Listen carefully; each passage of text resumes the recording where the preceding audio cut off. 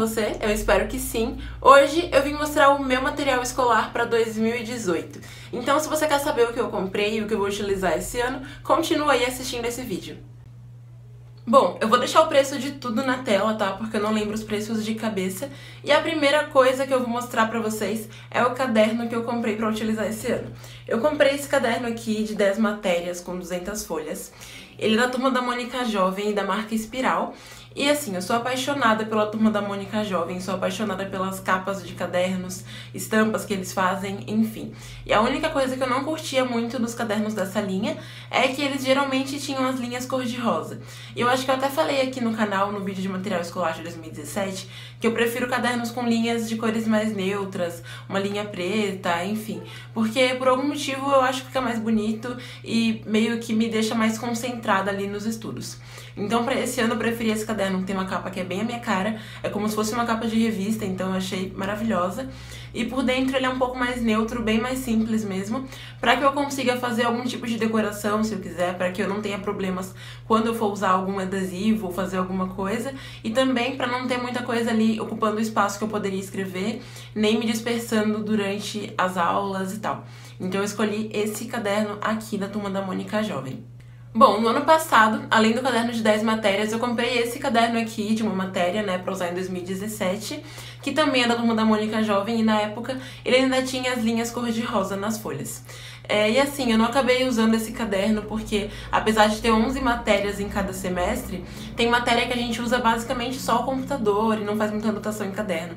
Então eu usei bem pouco. Eu vou tentar utilizar esse ano para alguma coisa, seja para fazer resumos em casa das provas ou até mesmo para fazer alguma coisa de trabalho, enfim. Mas achei válido mostrar para vocês também, porque é um caderno que eu achei muito fofinho, que eu gostei bastante de usar, assim, o pouco que eu usei ao longo de 2017. Acho que eu usei umas 10 folhas no máximo. Eu acabei até meio que me acostumando com as linhas cor-de-rosa, tanto que eu já pensava em comprar um caderno da Turma da Mônica Jovem para 2018, mesmo que tivesse a linha rosa, porque esse aqui meio que me deu aquela acostumada, sabe? Então, ao longo de 2018 eu vou tentar usar para alguma coisa, para não deixar o caderno de lado também. Apesar de usar caderno, eu comprei esse bloco aqui de folhas, ele é bem simples e tem só uma faixinha colorida aqui nas folhas. Na verdade eu queria um que fosse bem simples mesmo, sem nada, mas só tinha com faixinha colorida e eu até gostei aqui da paleta de cores que tem. Então eu acabei comprando. Isso porque na minha faculdade a gente usa muito papel, tem que fazer muita pauta, tem que fazer texto, enfim, às vezes tem que sair para pegar alguma entrevista, alguma coisa assim. E eu não gosto de ficar arrancando folha do caderno para isso. Sem contar que é muito mais prático com um bloco de folhas, ainda mais um bloco fininho, que dá para levar o bloco de folhas e o estojo numa mão só e já faz tudo. Então eu comprei esse bloquinho de folhas também, que eu achei que vai ser muito útil, né, para fazer essas anotações, para entregar atividades para nota e coisas desse estilo que a minha faculdade tem bastante. Bom, eu ainda não comprei agenda nem planner para usar em 2018, eu tô em dúvida do que eu vou querer usar e de como vai ser. Então, por enquanto, eu vou usar um caderninho que eu mesma personalizei, que eu tinha aqui em casa. E eu esqueci de trazer pro escritório para mostrar para vocês, mas eu faço um vídeo mostrando como eu fiz esse caderninho e como ele ficou. E agora vamos continuar então com os materiais, né? Eu também vou usar um bloquinho de anotações aqui, que é tipo bloquinho de post-it, na verdade é bloquinho de post-it, né? Só que é de outra marca. Esse aqui é da marca Notes, esse é o único nome que tem aqui. Eu comprei em 2017 e ele acabou sobrando. Eu comprei no meio do ano para usar tanto para faculdade quanto no escritório. E ele acabou sobrando bastante, então eu vou usar ao longo de 2018 também. Eu também comprei um bloquinho aqui rosinha da Stick Note. É, e essa stick note eu tinha comprado em 2017, né?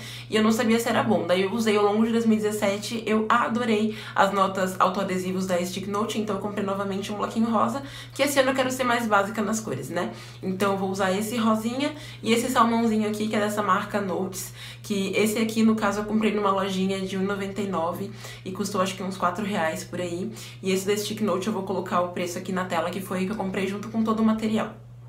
Ainda nessa parte de coisas de papel, eu vou usar esse bloquinho de anotações que não é autocolante, é um bloquinho normal, da loja Artesanatos da Val, que tem essa estampa de uma menininha com um gatinho aqui. Eu ganhei três bloquinhos desses, né, esse ano, do, da loja do Renato Daval. Eu usei o rosa, o branco ainda tá guardado, e esse ano eu vou usar aqui o amareladinho, que é muito fofo.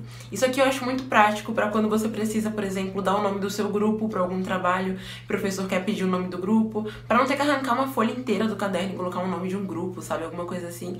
Ou para anotar alguma coisa e entregar para algum colega, enfim. Então é muito prático de ter na bolsa ou naquele bolsinho interno do caderno. Eu também vou utilizar na minha faculdade um dicionário. Isso parece meio estranho, considerando que eu tô na faculdade, tô indo pro segundo ano da faculdade, mas é que a gente às vezes precisa fazer produção textual e tem que trocar palavras por sinônimos, tem que ver um termo mais específico sobre aquele assunto, ou tem que saber se alguma coisa tá no novo acordo ortográfico, se mudou, se perdeu acento. Então, eu acho válido ter um dicionário, esse aqui eu tenho desde muito novinha, acho que ele é de 2010, eu tava no ensino fundamental ainda. Então, eu acho muito prático ter um dicionário, até porque eu não vou precisar levar todos os dias, só nos dias de aulas de produção textual e afins. É, é, mais prático do que usar no celular, às vezes, sabe? Porque tem professor que não permite que você use o celular na sala de aula, ou então às vezes o Wi-Fi não tá muito bom, ou seu 3G acabou, alguma coisa assim. E quando é atividade para entregar mesmo, geralmente eles não deixam você usar o celular, né? Então o dicionário tá aqui para nos ajudar nesses momentos. Bom, e agora acabando essa coisa mais de papel e tal, vamos para os itens de estojo. Eu vou levar esse apontador aqui, é o meu apontadorzinho que eu usei em 2017 também, eu achei muito bom. Eu esqueci qual é o nome da marca dele, não tem aqui em nenhum lugar, mas eu usei em 2017 e ele tá no vídeo de material escolar de 2017. Ele é maravilhoso, ele funcionou super bem, ele caiu um milhão de vezes e não quebrou, aponta muito bem, então sensacional, nota mil pra ele. Adorei esse apontador e foi bem baratinho. É, também vou usar um novo estojo, né? Esse estojo aqui é de uma corzinha assim, um pouco chamativa, mas ele é um estojo neutro porque ele não tem estampa. O meu de 2017 era estampado, e aí no meio do ano, principalmente, que eu troquei caderno, algumas coisas assim, eu comecei a meio que enjoar. Eu enjoo muito fácil de coisas estampadas, sabe? Porque começa a perder a harmonia com as outras coisas. Então eu acho que um estojo básico, assim, de uma cor sólida, sem estampa, vai ser mais fácil para eu não enjoar. Comprei um novo kit de lápis e borracha. É, os meus lápis eu ainda consegui manter alguns até o final do ano. Eu adorei esse lápis da Bic aqui. Mas eu comprei mais pela borracha mesmo, porque a borracha sozinha tava um preço e ela com lápis tava um pouca diferença assim de preço. Então eu preferi comprar o kit que seria mais barato. É, minha borracha ainda existe, mas ela tá pequena, tá meio sujinha. Então eu vou usar no escritório e comprei esse novo kitzinho pra usar na faculdade. Também comprei um kit novo de caneta, essa aqui é a Bic Diamante, vem duas azuis e uma preta, deixa eu aproximar pra vocês verem. E essas canetas eu acho muito boas, eu gosto bastante de canetas da Bic em geral. As minhas de 2017, algumas ainda estão boas, mas eu vou deixar aqui no escritório, que eu acho que é melhor, e começar pra faculdade com as coisas mais novinhas mesmo, pra não ter o risco de no meio de alguma prova a caneta falhar e algo assim. Então eu comprei esse kitzinho novo de caneta também. Uh, não comprei caneta vermelha, a minha vermelha eu vou continuar usando a mesma de 2017, até porque eu uso bem pouco caneta vermelha. Essas canetas coloridas, que também são da Bic, também apareceram no meu vídeo de material escolar 2017, porque elas são as mesmas. Elas duraram bastante, porque assim, quando eu fazia curso de biológicas, né, é, eu sempre levava muita caneta colorida, muita coisa assim, eu usava muito para fazer aula prática, para fazer esquemas, para fazer desenhos, etc. Mas eu percebi ao longo de 2017 que em curso de humanas a gente não faz tanto isso. Você faz mais resumos mesmo, coisas assim. E pelo menos eu não usei tanta caneta colorida para isso, eu usei mais para marcar um nome diferente, ou então pra colocar datas e coisas do tipo. Por isso eu acho que elas vão durar por bastante tempo. Além delas, eu também vou usar algumas canetas coloridas dessas líquidas, assim. É, eu comprei em 2017 bastante, eu ainda tenho muitas, assim, o kit inteiro praticamente, mas trouxe só essa daqui pra vocês saberem de que tipo de caneta que eu tô falando. Eu não usei praticamente nunca na faculdade, só pra colocar também alguns títulos e tal, mas eu preferi usar os tons de rosa. E assim, gente, eu uso mais para fazer resumo em casa, para estudar para prova, para fazer anotação de algum trabalho, enfim, para coisas mais em casa mesmo, para estudar em casa. E eu também utilizo no trabalho, né, no escritório. Então, eu não vou levar para faculdade, eu vou deixar aqui no escritório e quando eu precisar usar para alguma coisa na faculdade, aí sim eu uso. Mas é algo bem raro mesmo. Então, eu não me arrependo de ter comprado em 2017, porque eu uso para muita coisa, mas é algo que eu não uso especificamente para faculdade. Ainda de coisas de estojo, eu vou levar esse lápis, eu vou ter que criar coragem de usar esse lápis. Eu tenho esse lápis desde quando eu fui entrar na Unesp e eu ganhei esse lápis, eu acho alguma coisa assim, porque eu fazia biologia marinha, né? Então é lápis de florzinha, como vocês podem ver. E eu nunca tive coragem de usar esse lápis. Então eu vou criar coragem agora e vou usar esse lápis em 2018, ponto final. Uh, ainda em itens de estojo, eu vou levar uma cola. Essa cola eu tinha em casa e resolvi levar, porque às vezes tem que colar algum papel, alguma coisa assim, algum trabalho, enfim, principalmente trabalhos mais culturais e mais artísticos.